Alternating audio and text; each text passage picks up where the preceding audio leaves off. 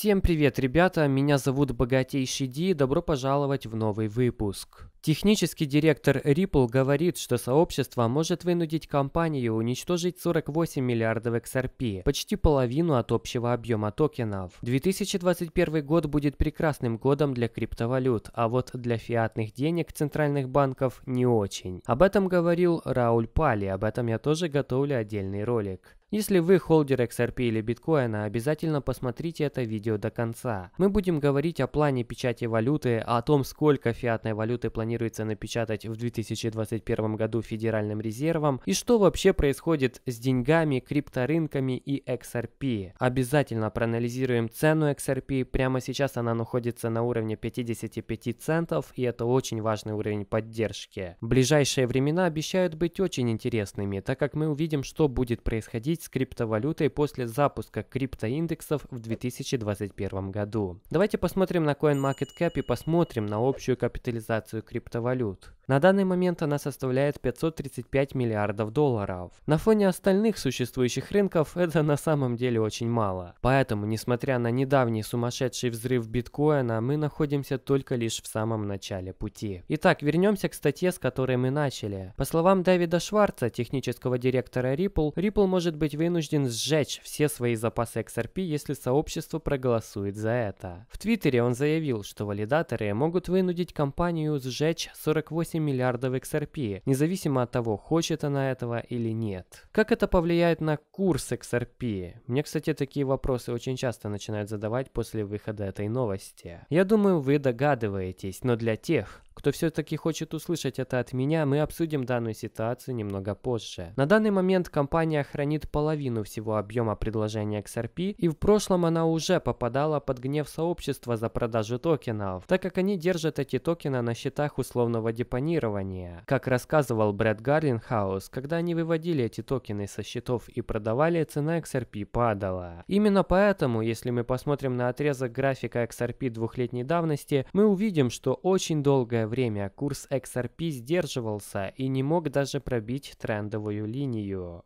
Но недавно случился пробой, ведь 10 ноября вышло важное обновление о том, что Ripple прекращает продажу своих XRP и начинает выкупать их обратно. В одном из интервью Гарлинхаус сказал, что вместо того, чтобы продавать оставшиеся у компании токены, они будут накапливать и хранить их. В уже упомянутой ветке Твиттера, которую создал Шварц, он заявил, что их блокчейн достаточно демократичный. Ripple ничего не может поделать, чтобы повлиять на результат голосования сообщества. Поправки в реестр XRP требуют 80% уровня одобрения от валидаторов. И эти поправки будут приняты в том случае, если одобрение от валидаторов будет находиться на этом уровне на протяжении двух недель. В июне валидаторы реестра XRP уже проголосовали за принятие нового новой поправки, которая называлась чековая поправка. Поправка вела пользовательскую возможность выписывать друг другу чеки с заранее определенным количеством XRP, которые могут быть востребованы в любое время. Комментарии Шварца стали чем-то вроде постскриптума к инциденту в ноябре прошлого года, когда выяснилось, что Ripple также может в одностороннем порядке решить сжечь миллиарды токенов предложения. В то время Stellar как раз таки сократил общее количество токенов XLM со 105 миллиардов до 50 миллиардов. Шварц отпустил колкость в адрес Stellar Development Fund за сжигание более 50% от общего предложения токенов XLM. Он написал, слишком плохо, что XRP децентрализован, иначе кто-то сможет просто сжечь половину предложения и поднять цену до 29 центов.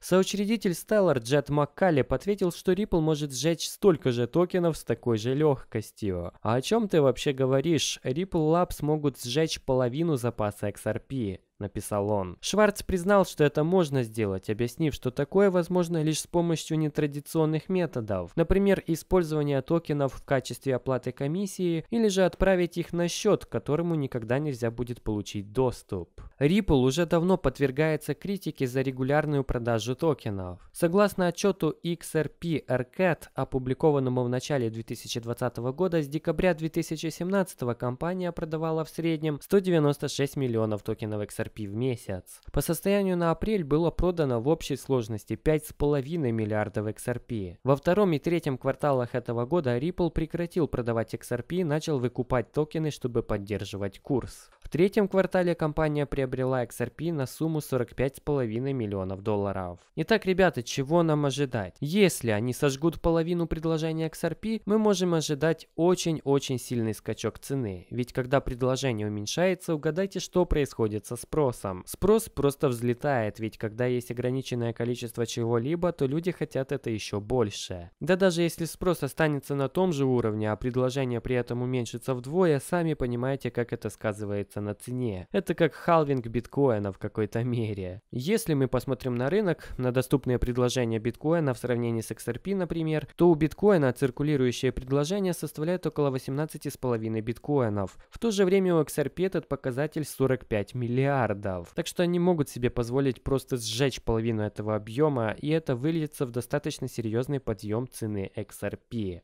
Как вы видите, сейчас Ripple очень ровно идет прямо по линии поддержки в 55 центов. Возможно, он пробьет ее и еще несколько раз протестирует следующие уровни сопротивления поддержки, прежде чем набрать силы и улететь вверх. Сейчас движение цены будет зависеть от того, решится общество сжечь половину предложения или нет, особенно после аирдропа спарков. В 2021 году S&P Dow Jones планирует запустить криптоиндексы. S&P Dow Jones – крупная компания, которая занимается финансами. В четверг заявила, что запустит настраиваемую службу индексации криптовалют в партнерстве с Лука в 2021 году. Криптоиндексы так или иначе должны были быть запущены, учитывая, что институциональные инвесторы с Уолл-стрит заинтересованы в них как никогда раньше. Доказательство их интереса заключается в том, что стремительность стремительный рост биткоина в этом году как раз-таки вызван тем, что финансовые учреждения стремятся купить его как можно больше. Когда пришли институциональные инвесторы, за которыми мы все следили, они начали очень сильно двигать крипторынок. Из-за этого на рынке началась огромная волна эмоциональных покупок в погоне за упущенной выгодой. Питер Рофман, глава отдела инноваций и стратегии S&P Dow Jones, сказал, мы наблюдали за этим пространством цифровых активов и чувствуем, что оно находится на стадии зрелого институционального интереса, когда такие компании, как наша, хотят войти в рынок и внести свой вклад в его прозрачность. Думаю, криптоиндексы будут очень интересным продуктом, который повысит интерес к криптовалюте среди обычных людей тоже. И сейчас я покажу вам один документ, чтобы вы понимали, с наступлением Нового года проблемы 2020 никуда не денутся, как многие почему-то думают печатают. Наверное, вы сами понимаете, если фиатные валюты печатаются в сумасшедшем темпе, то что будет происходить с криптовалютами и золотом, например, в будущем? Сейчас вы видите документ Совета управляющих Федеральной резервной системой. Он называется «Заказ на печать банкнот Федерального резерва на 2021 год». Здесь есть диаграмма, которая показывает объем денежной печати в разные годы. Цветами и текстурой отображены различные банкноты от 100 долларов старого и нового образцов до 1 доллара. Если мы посмотрим на планируемый уровень 2021 года, то они планируют добавить в экономику больше банкнот, чем за любой год прошедшего десятилетия. Посмотрите на график 2020 -го. В 2021 году будет почти в два раза больше. Вспомните, в 2020 в экономику было влито больше денег, чем за первые 200 лет существования США. Причем это произошло всего лишь за один месяц 2020 года. Думаю, вы можете представить, как это отражается и отразится на инфляции. Эта информация должна стать звоночком для понимания того, что с фиатной валютой все кончено. Но для золота, серебра и криптовалют все только начинается. И судя по тому, что публичные компании ищут такие активы для конвертации своих резервов в них, это понимаем не только мы. Но также помните, что ничего не может расти вечно, и даже биткоин. Будьте аккуратны и не поддавайтесь эмоциям. А меня зовут Богатейший Ди, ставьте лайки, давайте наберем хотя бы 3000 лайков под этим видео, меня это всегда очень мотивирует. А также подписывайтесь на канал, телеграм, жмите колокольчик, делитесь видео с друзьями, комментируйте обязательно. Богатейте. До скорого.